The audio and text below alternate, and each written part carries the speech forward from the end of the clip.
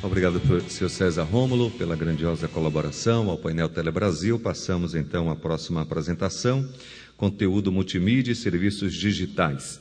Para tanto, convidamos a doutora em comunicação pela Universidade Autônoma de Barcelona, consultora da Comissão Econômica para a América Latina CEPAL, órgão da Unesco, localizado no Chile, professora de pós-graduação em TV Digital da Unesp e coordenadora do Centro Nacional de Referência à Inclusão Digital, projeto do Instituto Brasileiro de Informação, Ciência e Tecnologia, participa do grupo intergovernamental que está organizando o Centro Nacional de Excelência em Produção de Conteúdos Digitais, com os senhores a doutora Cossete Castro.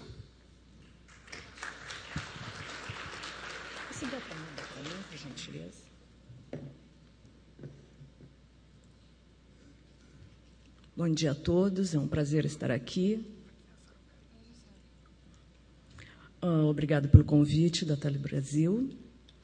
E hoje eu vou apresentar para vocês comunicação digital e indústrias de conteúdo.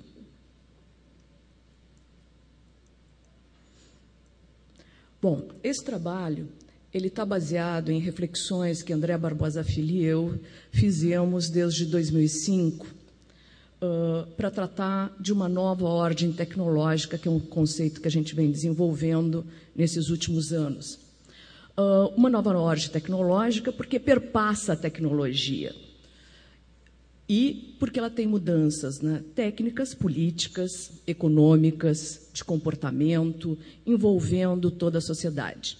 Só para lembrar, nos últimos 50 anos, nós passamos por mudanças uh, grandes, extremamente importantes. Isso não significa que, desde que o homem é homem, a gente não passe por mudanças tecnológicas mas eu vou me eh, reter apenas aos últimos 50 anos. Por exemplo, há 50 e poucos anos, Assis Chateaubriand colocou 200 televisões no Rio de Janeiro, espalhou 200 televisões e começou o processo de TV aberta no país. Nos anos 60, a chegada do videotape permitiu as gravações, permitiu que as câmeras também melhorassem e se pudesse fazer jornalismo de rua, saísse dos estúdios. Uh, nos anos 80, nós tivemos os vídeos cassetes, o CD, depois o DVD. A chegada do controle de remoto nos colocou no sofá bem instalados. Depois, nos 90, nós tivemos a TV por assinatura, internet, a chegada dos celulares cada vez menores e a digitalização. Uh, com essas mudanças, nós tivemos também, como diz Jesus Martim Barbeiro, novas formas de estar e perceber no mundo. Uh, eu vou falar aqui, hoje, pelos 30 minutos que eu tenho, somente das dimensões técnicas e de comportamento, e vou começar pela técnica.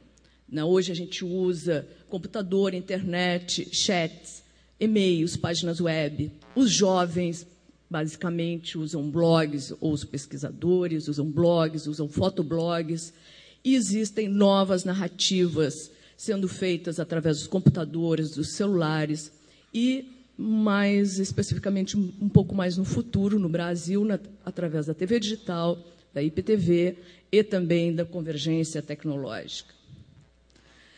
Há transformações no comportamento muito importantes né, e que precisam ser sempre observadas, principalmente no meio empresarial. O uso dos computadores eles, e dos celulares, eles ajudam a modificar a forma de relação com o mundo, como eu comentei antes. E isso a gente pode observar pelo Orkut, que os jovens usam no Brasil massivamente, ah, os blogs e fotoblogs e da produção de fanfics. Eu não sei se vocês conhecem o que, são os fanfics, mas provavelmente filhos e netos, uh, o pessoal da geração até 20 anos, 25 anos, está se expressando muito em ah, aproveitar um personagem que goste, vamos dizer, a garotada com Harry Potter, né, e os personagens de Harry Potter, e a partir daí criam histórias paralelas, que pode ser da Hermione, da família dela, ou, vamos dizer, para as gerações da minha idade, um personagem como Batman desenvolver histórias de Robin ou mesmo do mordomo Alfred. E aí, a partir daí, construir novas histórias. Então, hoje, quando dizem que a, a juventude não produz e não lê, não é verdade. Não acreditem nisso. Os jovens produzem de outra maneira, diferente da nossa. Hoje, por exemplo, o celular é uma extensão do corpo. Eu, por exemplo, eu uso o celular muito além de telefonar e receber telefonemas. Ele é o meu despertador, é a minha calculadora, é a minha agenda.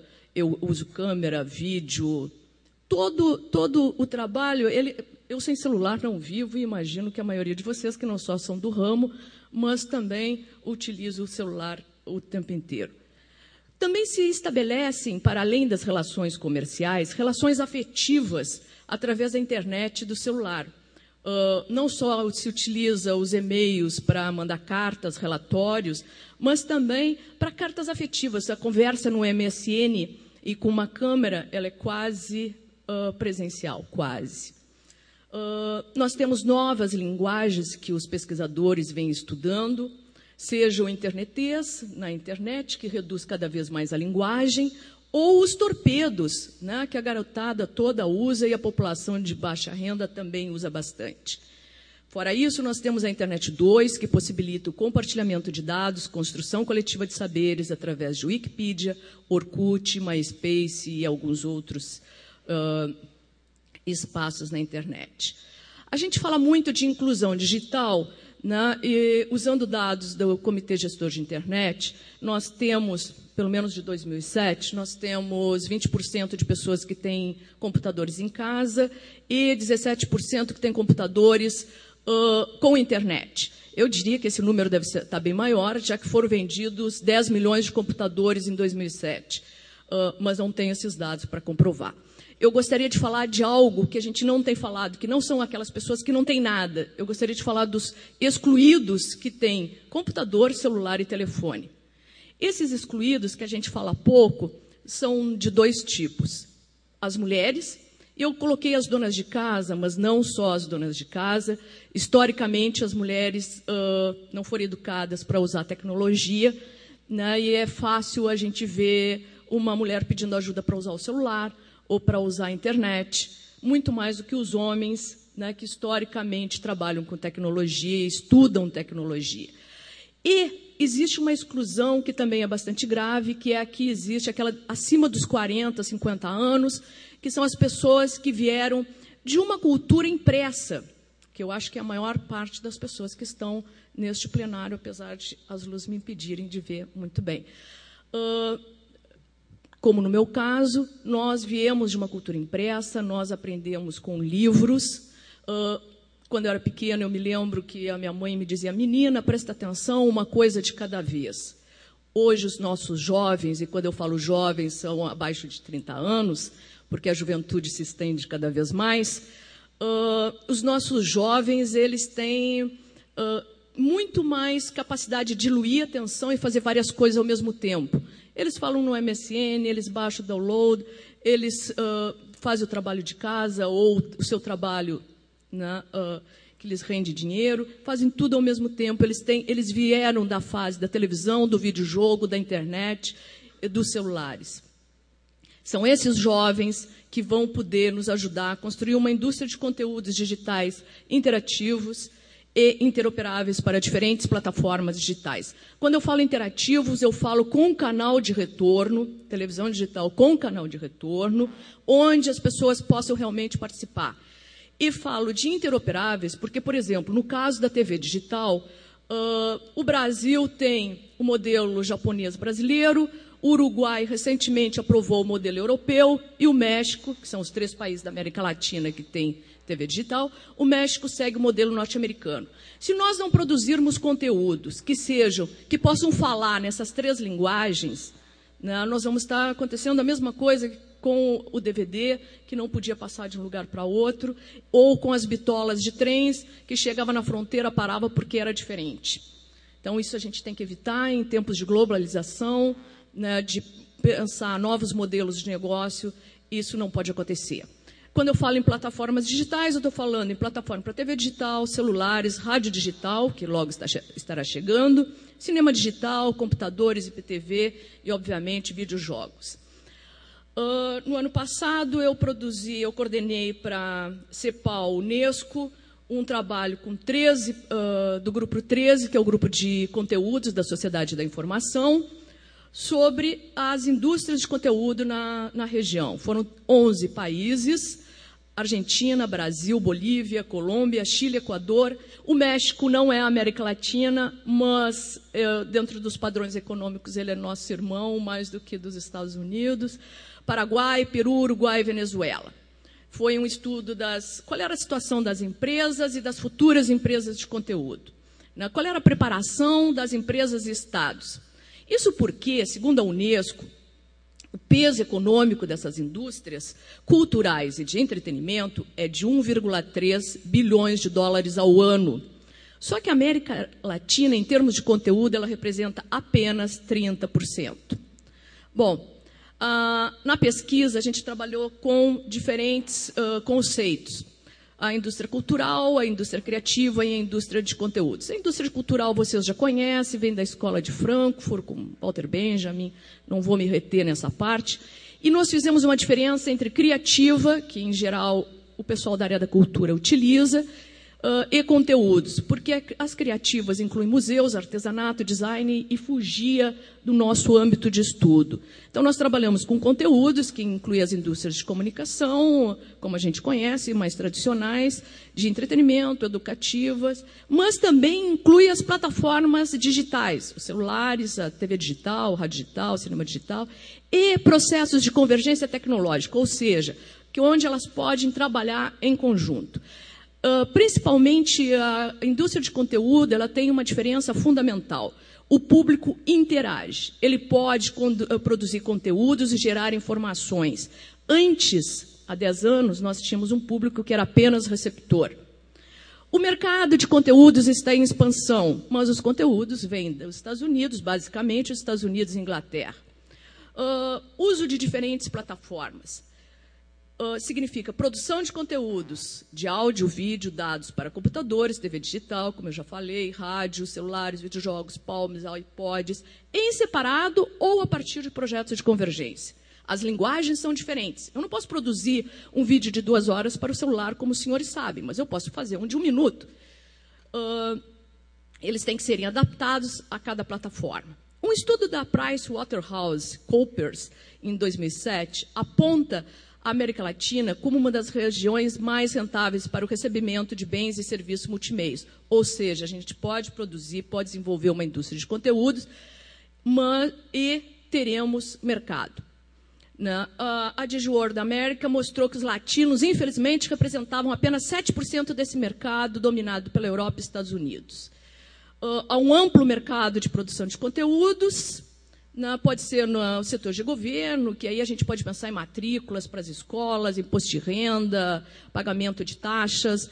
E saúde ou telemedicina, pode-se marcar consultas, entretenimento e trabalho. E justiça, ver processos pelo, pelo celular, educação à distância e comércio. E aí eu me lembrei dos nossos atrasos da, das companhias aéreas, a Gol e a TAM, a, a TAN nos avisa quando confirma uma passagem pelo celular e a Gol está fazendo um projeto uh, no, no trecho Rio-São Paulo, São Paulo-Rio, onde os passageiros que não têm, não têm mala podem fazer o check-in pelo celular.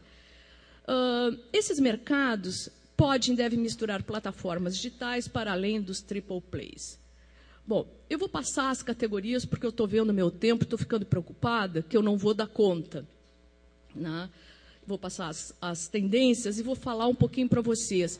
Entre os estudos, nós observamos assim alguns problemas como uh, de legislação, porque as legislações não combinam entre os países. Então, o que pode fazer um não pode fazer o outro. Por exemplo, as teles podem atuar em, em televisão por assinatura na Argentina é um processo novo que está acontecendo. Eu coloquei radiodifusão ali.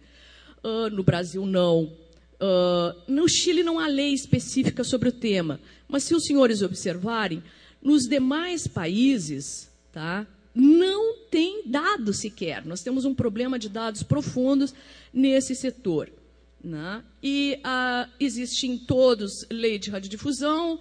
Uh, no Brasil, nós estamos trabalhando a PL, né, PL 29, e países como Paraguai e Uruguai sequer têm uma lei do audiovisual ainda. Alguns resultados da pesquisa. a mais de 75% de celulares pré-pagos na América Latina, refletindo o poder aquisitivo, que não é uma novidade. A consequência, se a gente pensar em compra de conteúdos digitais via celular, né, é um problema, porque a maior parte já tem cartão. Né? A nossa população latino-americana e brasileira, elas têm, elas têm baixo poder aquisitivo. Uso de gatos, eu escutei na semana passada, os catnets, né? ou TV por, uh, TV por assinatura ilegal, não é uma regra brasileira como a gente poderia pensar. Ela ocorre em todos os países. Mas em apenas três nós tínhamos dados oficiais. Ela, ou seja, há um estudo específico sobre isso. Tem 39% de TV por assinatura ilegal no Chile, 36% no México, 30% no Peru. A indústria editorial, o hábito de leitura na região se restringe a dois livros ao ano. Uh, Argentina e México são importantes editores.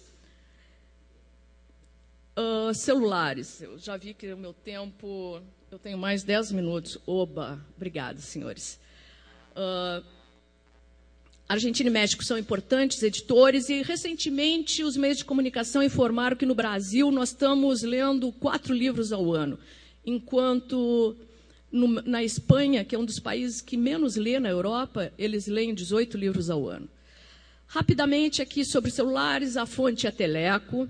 Né? Eu gostaria de salientar que o único país que tem uma densidade de mais uh, de habitantes, mais celulares por habitantes, é a Argentina, e o número de celulares reduziu 1%, de celulares pré-pagos reduziu 1%.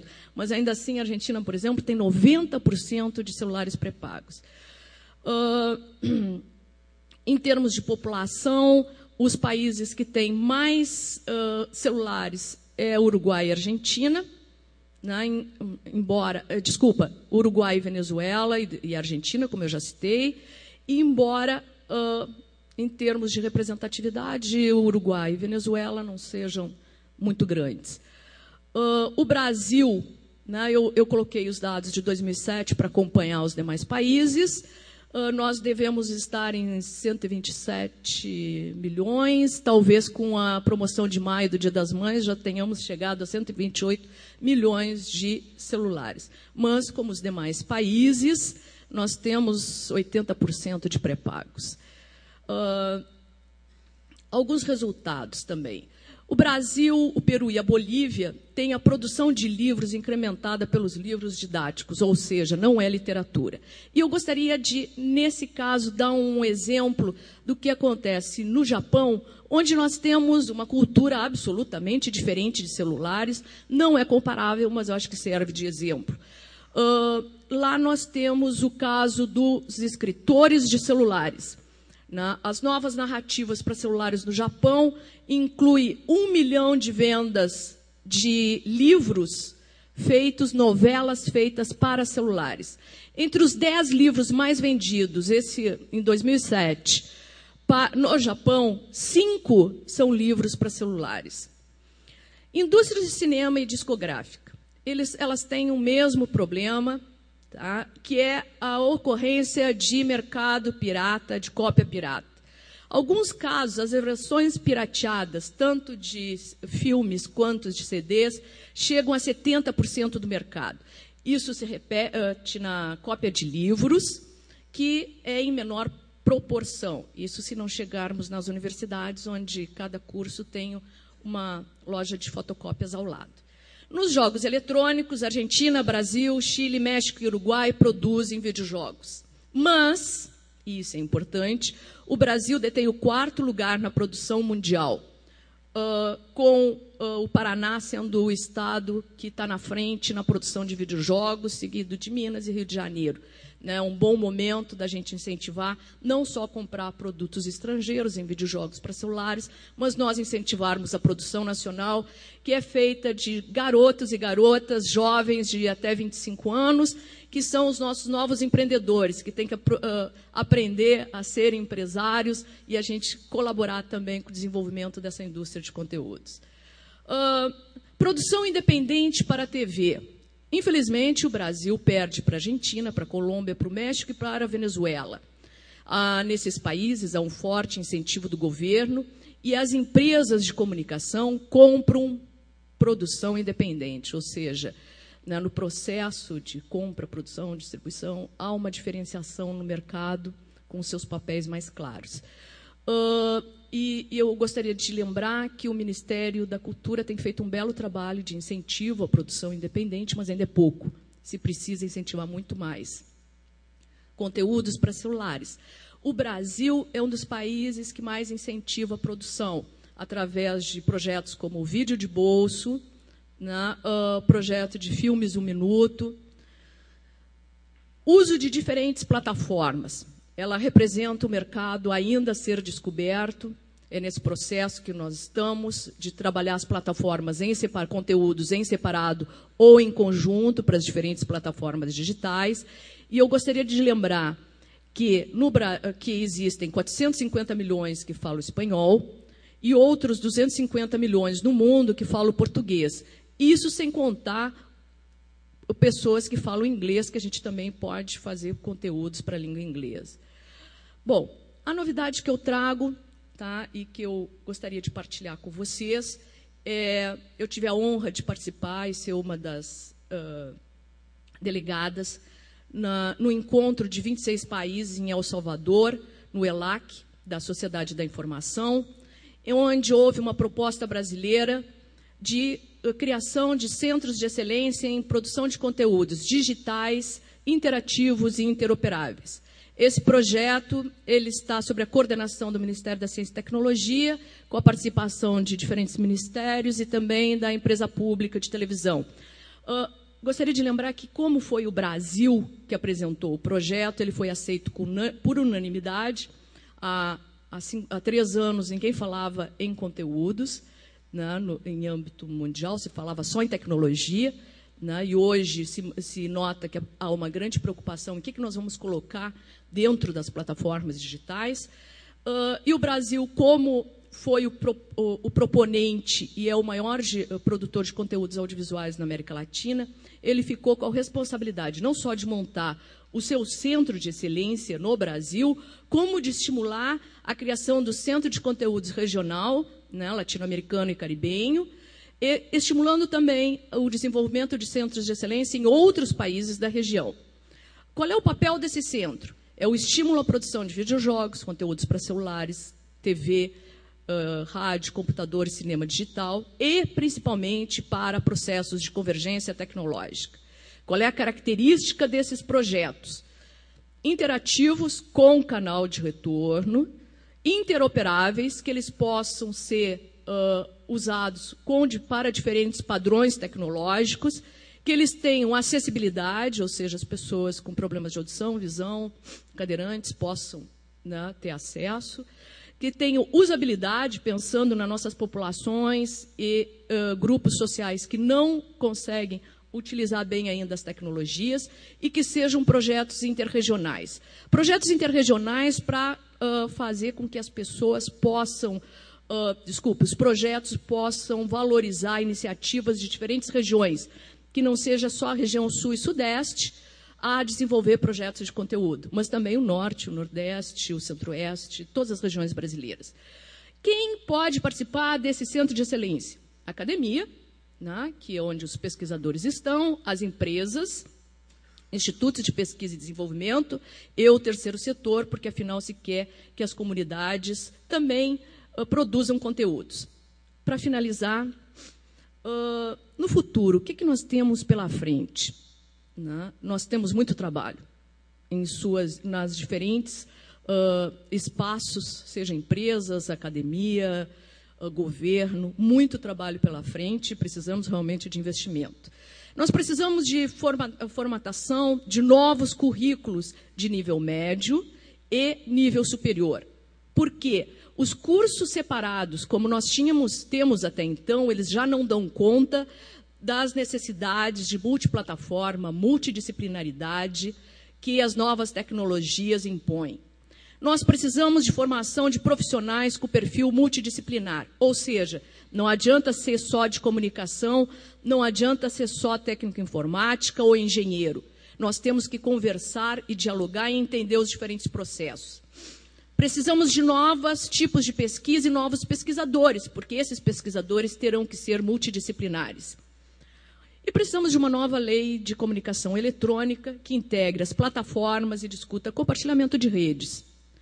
E também uh, diminui essa diferença de telecomunicação e, e radiodifusão, porque com tempos de novas tecnologias digitais, as fronteiras se diluem cada vez mais.